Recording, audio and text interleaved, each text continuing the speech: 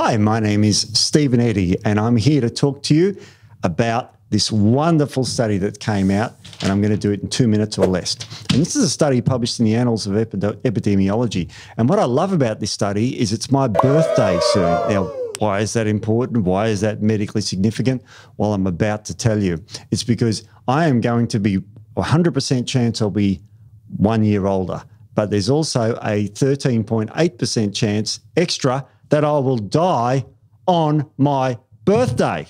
Um, yeah, I know what you're thinking. I've lost the plot. I haven't. This is a study. And what it found is the overall death excess on the day of birth was 13.8%.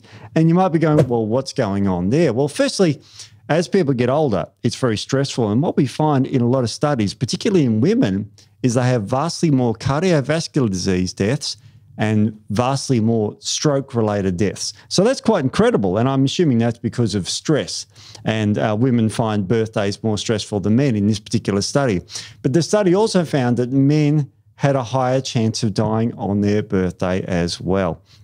Now, guess what the main reason? Accidents, in particular, falls in men. So men fall over more on their birthday. Now, can you have a guess a million dollar guess why men fall over more on their birthday? It's because men celebrate their birthday. They don't celebrate with party poppers, they celebrate with things like alcohol, and it causes them to fall over. And you're in more accidents. So, therefore, you end up dying more. So, there's a 13.8% chance increased risk of dying on your birthday.